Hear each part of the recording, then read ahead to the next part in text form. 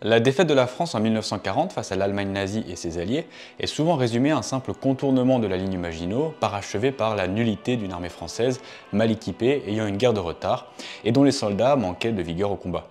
Cependant, lorsqu'on prend le temps d'étudier la bataille de France plus précisément, tout cela ne tient pas, et on se rend rapidement compte que le secret de la victoire allemande est ailleurs. J'ai travaillé sur l'épisode d'aujourd'hui à votre demande. L'idée est de vous partager au travers de perspectives d'historiens d'horizons divers, donc pas uniquement français, la réalité de plusieurs batailles de mai-juin 1940 où le soldat français était très loin de l'image du gros nul hein, qu'on a bien voulu lui coller, euh, sans pour autant passer outre les manquements de l'armée française. Et comme d'habitude, avant de commencer, nous allons prendre quelques instants afin de vous présenter notre partenaire dont le soutien financier est essentiel au fonctionnement de la chaîne. Il s'agit d'un jeu bien dans le thème de notre sujet du jour, Call of War World War II. C'est un jeu joueur contre joueur gratuit, fonctionnant à la fois sur mobile et sur PC, dont le principe est simple. Vous prenez le commandement d'une nation et jouez une partie pouvant rassembler jusqu'à 100 joueurs, dans l'objectif de remporter le conflit soit seul ou en coalition avec d'autres joueurs. La vocation de ce jeu n'est pas strictement historique, mais consiste à vous permettre de développer votre stratégie diplomatique, de gestion de ressources et de conquête militaire dans des contextes très différents. J'ai ainsi déjà joué plusieurs heures, en particulier sur l'appli mobile qui est vraiment bien faite, à la tête du Maroc, et oui c'est possible dans le jeu, et ce qui m'a plu le plus, c'est toute la mécanique de temporalité qui crée une gestion vraiment intéressante. Vos troupes prennent par exemple un jour pour traverser votre pays lorsqu'elles ne sont pas mécanisées, tandis que vos usines produisent des unités à un rythme plus ou moins élevé selon leur niveau, qui est lié aux ressources que vous leur avez allouées. Pour que vous puissiez découvrir le jeu dans les meilleures conditions, l'équipe du jeu vous offre 13 000 pièces d'or, ce qui est considérable, ainsi qu'un mois de jeu premium grâce au lien démistif disponible dans la description. L'offre est valable jusqu'au 30 septembre 2023, ne perdez donc pas de temps et testez le jeu dès à présent en cliquant sur le lien en description.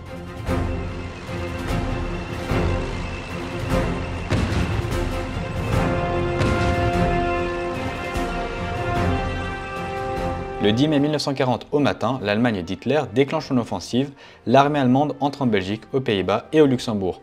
Le commandement allié l'avait anticipé et s'attend à ce que le gros de l'attaque allemande se porte dans les plaines belges afin de permettre à la Wehrmacht, qui est l'armée allemande, de maximiser l'impact de ses blindés. Dès le déclenchement de l'assaut, les troupes françaises et britanniques stationnées en France du fait de la neutralité belge entrent à leur tour en Belgique afin de prendre leur position sur la ligne d'Île-Gamblou, conformément au plan du général Gamelin en charge de la stratégie alliée.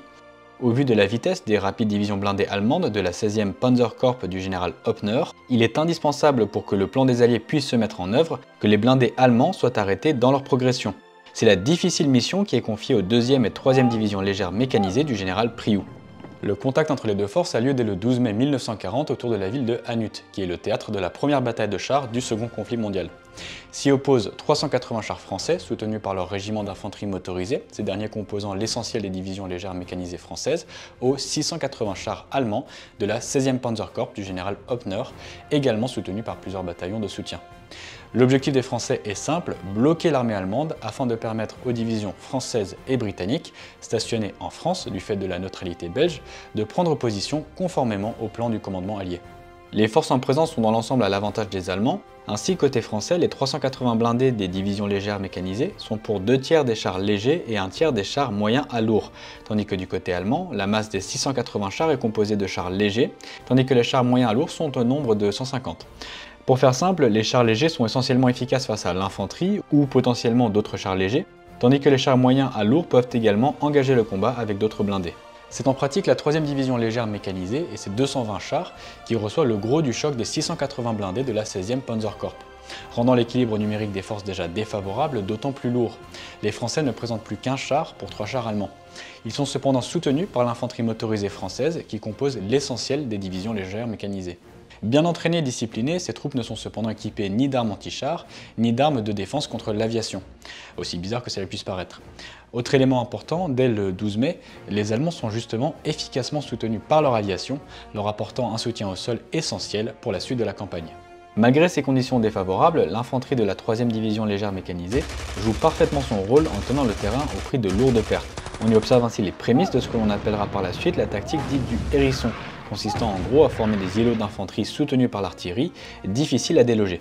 Cette tactique est particulièrement efficace face à une force armée mobile, permettant ainsi de contrer les tactiques d'infiltration allemande, tandis que l'armée de l'air allemande, la Luftwaffe, ne parvient pas vraiment à faire sauter les verrous que représentent ces positions, et ce malgré un intense bombardement. L'un des colonels allemands ayant combattu lors de cette bataille partage ainsi la façon dont, je cite, l'admirable ténacité des Français qui, malgré les pertes subies, ne cèdent pas un pouce de terrain fit que le général Hoppner continua d'ignorer où se trouvaient les forces blindées françaises. Et c'est justement le but, hein, puisque ne parvenant pas à les déloger, les blindés allemands passent les hérissons dans l'idée de les couper du reste de l'armée. Et c'est à ce moment-là que les blindés français entrent en action et lancent la contre-attaque. Les chars français viennent alors combler les trous entre les formations en hérissons et repoussent vigoureusement les chars allemands, tout en subissant le feu de l'aviation. Les Français l'emportent et mettent un coup d'arrêt à la progression allemande. Les combats se poursuivent de la même façon le jour suivant. Tout en reculant en direction de Gambloux, où doit se positionner le reste de l'armée française, les hommes du général Priou accomplissent parfaitement leur mission de retardement. Lorsque le 14 mai 1940 les Allemands arrivent sur Gambloux, la première armée française est en place grâce à cette victoire tactique. Celle-ci repousse alors vigoureusement les Allemands qui sont alors contraints d'attendre le reste de l'armée, permettant aux hommes du général Priou de repartir à l'arrière. La mission est accomplie au prix de 105 chars et de nombreux hommes perdus dans la bataille, mais dont la moitié sont étriés par l'aviation allemande et non par l'adversaire au sol, tandis que les Allemands perdent 165 chars au cours de ces combats. Ces combats permettent d'illustrer la qualité du matériel français, autant que la combativité et la capacité des troupes françaises. Mais les gains de cette victoire tactique sont annihilés par des événements ayant cours en parallèle plus au sud.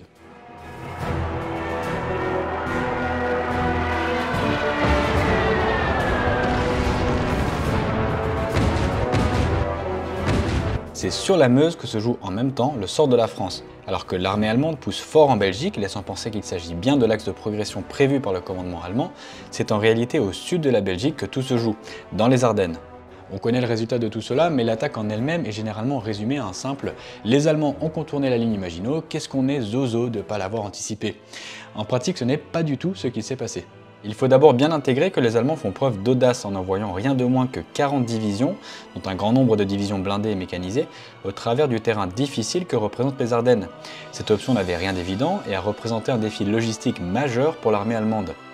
Pétain jugeait ainsi les Ardennes impénétrables en 1934. Mais contrairement aux raccourcis que l'on entend souvent, cet avis exprimé par Pétain devant une commission du Sénat en 1934 n'est pas celui du commandement français en 1940, qui avait envisagé cette option, certes dans une envergure moindre que ce qu'il s'est produit dans les faits. Le commandement français estimait simplement que cette traversée jugée improbable, mais pas impossible, avec une force d'ampleur, prendrait en gros une semaine, laissant largement le temps à l'armée française de manœuvrer en réaction à ce mouvement. D'autant que ce mouvement allemand vers la Meuse devait tout à fait logiquement être suivi par la traversée de la Meuse, ajoutant selon les estimations du commandement français encore une bonne semaine au mouvement. Ces estimations, sans être particulièrement prudentes, étaient loin d'être absurdes. Il suffit de lire la description qu'en fait l'historien militaire allemand Karl-Heinz Frieser pour comprendre l'enfer logistique qui a été cette traversée pour l'armée allemande. Traversée qui a d'ailleurs failli tourner au fiasco à plusieurs reprises. De fait, le terrain des Ardennes est tout sauf logique au vu de la composition de l'offensive allemande, s'appuyant notamment sur de nombreux blindés, comme l'avait anticipé le commandement français.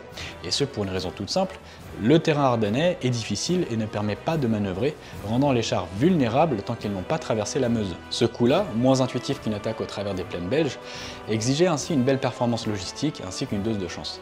Mais voilà, dans les faits, les estimations et anticipations françaises sont erronées, puisque dès l'après-midi du 12 mai, soit à peine plus de deux jours depuis le déclenchement de l'offensive, les Allemands ont réussi leur coup de force et l'avant-garde allemande se présente sur les bords de la Meuse, où ne se trouve que cette division française de seconde classe et de ce fait essentiellement composée de réservistes plus âgés, mal entraînés ainsi que sous-équipés puisqu'elle n'était censée n'avoir qu'à empêcher une éventuelle traversée de moindre ampleur et que l'on aurait eu le temps de voir venir. Le secteur était également particulièrement mal organisé, de nombreux mouvements de troupes et rotations achèvent d'annihiler la cohérence du 10e corps d'armée du général Gransart, qui est en charge de la zone. Les troupes n'ont ni le temps de se familiariser avec leur position, ni avec leur mission, ni même de mener des entraînements conjoints. Ni d'entraînement tout court hein, d'ailleurs, puisqu'ils ont essentiellement passé les mois précédant l'attaque, que l'on appelle la drôle de guerre, à faire des travaux de construction défensive qui étaient loin d'être achevés au 12 mai 1940. Cela étant dit, c'était certes un beau bazar dans la zone, mais on attend surtout de ces divisions qu'elles gagnent du temps, permettant ainsi à l'armée française d'y masser sa défense si l'attaque devait se porter sur ce point. Cependant, lorsque le général Lafontaine, qui commande la 55e division d'infanterie, positionné sur une partie vulnérable du dispositif, s'inquiète de la situation, en particulier suite à l'arrivée de l'avant-garde allemande au soir du 12 mai 1940, et en informe son supérieur le général Gransart, on lui rétorque, je cite, il faudra aux Allemands des semaines pour monter une attaque, vous êtes tranquille pour au moins 8 jours. Et pourtant, dès le lendemain, le 13 mai, l'offensive est déclenchée et c'est un véritable déluge qui tombe sur les hommes du général Lafontaine, et ce déluge vient du ciel. Et oui, vous l'aviez peut-être pas vu euh, venir celle-là, puisque je vous bassine avec des chars depuis tout à l'heure, mais en l'absence de forces aériennes alliées suffisantes pour défendre le secteur, ce ne sont pas moins de 1500 avions allemands qui passent à l'attaque sur le secteur. Faute de DCA, qui signifie défense contre l'aviation, l'artillerie française, qui était pour le coup, elle, en nombre suffisant, est purement et simplement écrasée sous les bombes et réduite au silence, tandis que l'infanterie subit un sort similaire. Je cite à ce sujet le général Ruby. Les artilleurs cessent le feu et se terrent. Les fantassins sont abrutis par le fracas des bombes et le sifflement des avions piquant au sol. Cinq heures de supplice mettent leur nerfs à bout. Une fois les soldats bien échaudés et certaines unités, en particulier d'artillerie, mises en déroute par la violence du bombardement, l'offensive est menée par l'élite de l'armée allemande, rigoureusement entraînée et préparée pour cette opération. Cette offensive est composée de rien de moins que 7 des 10 divisions blindées de l'armée allemande, ce qui représente environ 2000 chars, c'est énorme, qui se trouve qui plus est sous les ordres d'hommes particulièrement capables tels que les fameux Heinz Guderian et Erwin Rommel, le tout accompagné de régiments d'infanterie de choc dont l'excellent régiment Großdeutschland. L'engagement ressemble franchement plus à un combat entre Mike Tyson et un gamin de 10 ans, tant l'écart de force et puissance de feu est localement colossal. Il faut bien comprendre que côté français, ce ne sont pas des soldats de métier, ni des guerriers dans l'âme, mais ce sont des hommes comme vous et moi, récemment mobilisés et dont les classes dans l'armée remontent à plusieurs années. Ils n'ont connu quasiment aucun entraînement, ni même de préparation à subir ce type d'attaque depuis le déclenchement de la guerre. Et pourtant, le combat ne sera pas aussi caricatural qu'il aurait pu l'être et voit le martyr des réservistes dont je vais vous raconter l'histoire oubliée.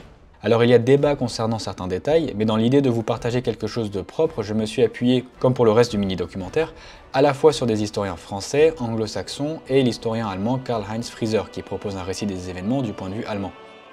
C'est donc la 55e division d'infanterie du général Lafontaine qui encaisse le choc. Cette division, basée à Sedan, sous-équipée hein, comme les six autres divisions françaises de la deuxième armée, se retrouve à recevoir seule le choc de 960 chars, soutenu par le régiment d'élite allemand Großdeutschland, évoqué un peu plus tôt ainsi que plusieurs divisions d'infanterie allemandes, le tout sous un intense bombardement mené d'abord par l'aviation, puis l'artillerie allemande. Le témoignage d'un fantassin allemand qui se trouvait sur l'autre rive de la Meuse permet d'imaginer la violence de l'attaque sur la 55e division d'infanterie. C'est l'horreur. Au-dessus de l'autre rive s'élève un mur de soufre jaunâtre, il ne cesse de grandir. Sous la formidable pression de l'air, les vitres vibrent et éclatent. Le sol tremble, des maisons vacillent. À quoi cela doit-il ressembler là-bas, chez les Français? La réaction des hommes sur le terrain était diverse, certains ont craqué sous l'interminable pression des bombes et ont fui, notamment du côté des artilleurs comme je l'évoquais un peu plus tôt. Et on relève également des cas d'obusite, hein, donc c'est d'ailleurs quelque chose qu'on a observé aussi au cours du, du, premier conflit mondial. Et en pratique, c'était des soldats qui étaient psychologiquement brisés, rendus incapables de bouger ou réagir suite au bombardement. Euh, cependant, la réaction qui domine en premier lieu est celle évoquée par le général Ruby. Les hommes sont en place, mais en état de choc et sidération, complètement abrutis par le bruit des bombes qui se mangent dans la tronche depuis des heures. Les infrastructures défensives dans lesquelles ils se trouvent et qui n'étaient pas achevées euh, perdent quant à elles le peu de cohésion qu'elles avaient. Les communications entre les unités sont totalement coupées, tandis qu'une partie des casemates sont endommagées. Bref, ça pue sévère pour les Français dont les fantassins semblent pourtant tenir le coup, malgré ce bombardement que l'historien allemand Karl-Heinz Frieser qualifie de plus violent de la campagne de l'Ouest. Au-delà de ces pertes initiales, le gros des fantassins de la 55e division d'infanterie est toujours là lorsque le bombardement cesse. Il repousse ainsi l'intégralité des tentatives de traversée du 13 mai jusqu'à ce que le régiment Großdeutschland parvienne à trouver la faille en début de soirée. Le lendemain matin, c'est au tour des divisions blindées allemandes de tenter la traversée. Mais les Français résistent tant qu'ils le peuvent, à tel point que Rommel lui-même manque d'être capturé suite à sa traversée, avant d'être sauvé par l'arrivée de ses blindés. Cependant, il faut que je vous raconte une affaire de zinzin qui s'est déroulée sur les arrières de cette bataille. Il s'agit de ce que l'on a appelé la panique de Bulson. Le 13 mai 1940 a été une journée chaotique sur le secteur. Et comme je l'évoquais un peu plus tôt, les réactions des soldats français ont été diverses. Comme nous l'avons vu, certaines unités, en particulier plusieurs unités d'artillerie, se sont débandées lors des bombardements, mais la question est où sont-elles passées? Eh bien, elles se retrouvent ainsi dans un désordre total vers 18h à Bulson, qui est à 8 km au sud de Sedan, où se trouve également le général Lafontaine et son état-major. Ils y annoncent alors l'arrivée imminente de chars allemands sur le secteur.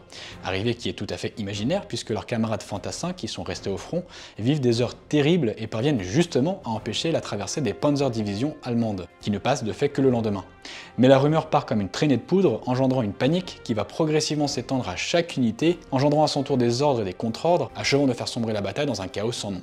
Le général Lafontaine garde quant à lui son sang-froid, contrairement à toute une partie des hommes sous ses ordres.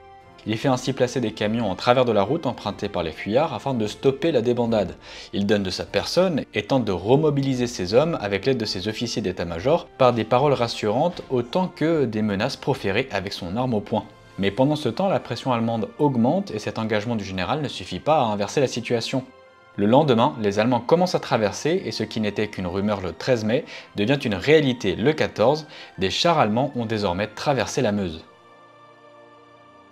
Il n'y aura donc pas de miracle sur la Meuse, les Allemands ont le nombre, le ciel et l'armement pour eux, et finissent tout à fait logiquement par traverser la Meuse en plusieurs points, débordant ancien dispositif français désorganisé et mal préparé, qui s'effondre sur lui-même, sapé par la panique. Les différents nœuds de résistance de la 55e division d'infanterie tombent les uns après les autres, attaqués sur leurs flancs ou leurs arrières. La défaite est totale et la division est purement et simplement détruite, laissant de nombreux Français morts sur le champ de bataille. Cela étant dit, il est important de comprendre que la 55e division d'infanterie a purement et simplement été balayée militairement par la pression allemande. La panique de Bulson, déclenchée par cette pression, n'a fait qu'aggraver la situation, mais ne l'a pas provoquée. Elle a surtout ralenti et perturbé la réaction d'un commandement français qui a, sur le terrain, fait ce qu'il a pu. De fait, en d'autres points de la bataille où il n'y a pas eu ce type d'événement, la situation est similaire. La 102e division d'infanterie de Forteresse fait ainsi ce qu'elle peut et tient deux jours avant d'être à son tour purement et simplement écrasée par les Allemands. Les troupes de l'Empire français ne sont pas en reste non plus puisque le 15 mai ce sont les pays marocains et algériens qui s'illustrent par leur courage avec leurs officiers à la Hongre avant d'être purement et simplement massacrés sous le feu allemand à l'occasion d'une charge sabre clair, certes fougueuse, mais dans les faits totalement inefficace. Bref, au cours de ces combats, les Allemands ont certes logiquement renversé le dispositif français à Sedan, mais tout n'est pas perdu. Et oui, le bruit des chenilles des puissants chars lourds français B1 se fait entendre sur les hauteurs du massif de Stone.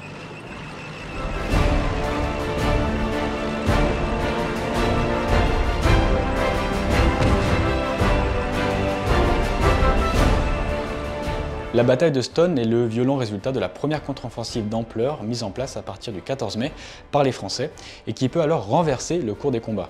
Cette fameuse contre-attaque devait initialement regrouper les restes du 10e corps d'armée dont nous venons d'aborder le sort et l'implosion, soutenu par le puissant 21e corps d'armée euh, du général Jean Flavigny, disposant entre autres d'une division cuirassée composée de puissants chars lourds comme le fameux B1, euh, plus précisément le B1 bis.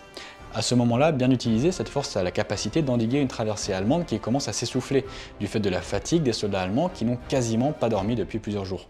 Ce précieux temps gagné permettrait au commandement français de réagir et de colmater la brèche. Cependant, cette contre-offensive commence franchement mal. C'est au malheureux général Lafontaine, à qui on ne peut pas reprocher l'engagement sur le terrain, qu'est confiée l'organisation de la contre-attaque du côté du 10e corps d'armée. Alors qu'il suit le plan et que ses hommes engagent le combat contre les Allemands, ces derniers ne sont pas soutenus par les blindés, qu'ils ne voient toujours pas arriver, et ce après plusieurs heures de combat. Mais où sont-ils donc passés? Eh bien les chars français n'étaient tout simplement pas prêts pour l'offensive. Pâtissant à la fois de leur conséquente consommation en carburant et d'une logistique défaillante, ils prennent une précieuse journée de retard et n'ont pas le temps d'arriver avant que la contre-offensive de La Fontaine se fasse brutalement étrier. Le général Flavigny est furieux de ce retard et ordonne au général Brocard, qui est en charge de la 3 division cuirassée, de se mettre en position coûte que coûte évoquant qu'il s'agit de la mission de sacrifice qu'il doit accomplir pour la France. Ce à quoi Brocard répond sèchement « Sacrifice ou non, les chars ne peuvent marcher sans essence ». Et on peut difficilement lui donner tort, hein. euh, dites-vous que les lourds chars français doivent faire deux pleins pour couvrir la centaine de kilomètres séparant Reims, leur cantonnement, à Sedan, et c'est simplement énorme lorsqu'on sait qu'une division cuirassée a besoin de 3 à 6 heures, selon le contexte, afin de faire le plein. Bref, cette première étape est un nouvel échec qui laisse de nombreux soldats français sur le carreau, mais le combat n'est pas terminé et les Français ne renoncent pas à la contre-offensive, qu'ils savent être Les Allemands ont avancé jusqu'au massif de Montdieu, qui est au sud de Sedan, et tentent de s'installer sur le plateau de Stone. Cependant, les efforts de Flavigny finissent par porter leurs fruits et une surprise les y attend. Les combats débutent dès le matin du 15 mai 1940 lorsque le régiment Großdeutschland, soutenu par un régiment de blindés, tente de prendre Stone, occupé par des fantassins français. Le combat y est terrible et le village change de main à 4 reprises entre 8h et 10h45. À partir de 11h, les chars lourds français entrent en action. Une heure plus tard, le régiment d'élite Großdeutschland est repoussé et le village est de nouveau entre les mains des Français. Cependant, au cours de l'après-midi, le général Flavigny, commandant désormais la contre-attaque française, réorganise ses troupes dans l'idée de reprendre Sedan, conformément aux ordres qu'il a reçus, ordonnant ainsi à ses chars de se retirer de Stone. Ce mouvement ouvre mécaniquement une brèche dans le dispositif français immédiatement exploité par les Allemands qui reprennent le village à 17h30. Et pourtant, une heure plus tard, l'offensive sur Sedan est finalement annulée et Flavigny ordonne à ses chars de reprendre Stone qu'il vient de laisser aux Allemands. Cette indécision fait dire à l'historien allemand Frieser que ce jour-là, les Français viennent de laisser passer une occasion unique de renverser la situation. Et il est effectivement difficile de lui donner tort. Mais la bataille de Stone est loin d'être terminée. Les Français ne s'avouent absolument pas vaincus et les combats n'en deviennent que plus brutaux. Dès le lendemain matin, les Français repassent ainsi à l'offensive et les chars lourds détruisent 13 chars allemands et repoussent les fantassins les accompagnant. Ils occupent le village toute la journée et font un véritable carnage le 17 mai lorsque les Allemands tentent de reprendre la position, valant par exemple au lieutenant Doumek, euh, commandant l'un des bataillons de chars, le surnom de boucher de Stone. Au soir du 17 mai, les Français sont cependant définitivement repoussés du village de Stone lorsqu'arrivent des renforts allemands. La bataille pour le plateau de Stone et le massif du Mont-Dieu ne sont cependant pas pour autant terminés. Ils se poursuivent avec la même brutalité et ce jusqu'au 25 mai où leur parvient l'ordre de repli, en conséquence directe de l'effondrement du dispositif allié plus au nord. Les pertes sont lourdes des deux côtés, la 3ème division de cuirassés perd par exemple entre 50% et 60% de ses chars selon les estimations, tandis que les pertes au sein des autres divisions du 21e corps d'armée varient entre 20% et 70% de leurs effectifs totaux. Côté allemand, le régiment de Grossdeutschland encaisse par exemple de lourdes pertes en laissant près de 600 de ses soldats d'élite dans la bataille, tandis qu'une quarantaine de chars allemands sont mis hors combat. Vous m'aviez demandé de vous partager différents moments illustrant l'intensité des combats et l'ardeur des Français au cours de la bataille de France 1940, et je pense qu'on a été bien servi dans ce premier volet. Et oui, si je dis premier volet, c'est parce que ce documentaire peut avoir une suite, tout aussi pertinente, et qui nous permettra par exemple d'aborder les combats autour de l'île de Dunkerque, sur la Somme, ou bien encore au cours des incroyables combats menés par l'armée des Alpes. Bref, votre avis est déterminant. Si vous souhaitez que l'on voit ça ensemble, dites-le moi en commentaire. Sinon, on abordera simplement un autre sujet qui sera tout aussi intéressant et dont vous avez quelques indices ici notamment. Encore merci à notre partenaire Call of War World War II, qui est le jeu en ligne joueur contre joueur se déroulant lors du second conflit mondial, qui vous permet de déployer vos stratégies et tactiques afin de remporter la guerre. Jusqu'au 30 septembre 2023, débutez le jeu avec 13 000 pièces d'or ainsi qu'un mois de jeu premium en cliquant sur le lien démistif disponible dans la description. Avant de partir, j'ai une question pour vous. Savez-vous pourquoi les Français, malgré leur ardeur au combat, comme nous l'avons vu ensemble aujourd'hui, se traînent la réputation de lâches Non? Eh bien, la vidéo suivante est faite pour vous.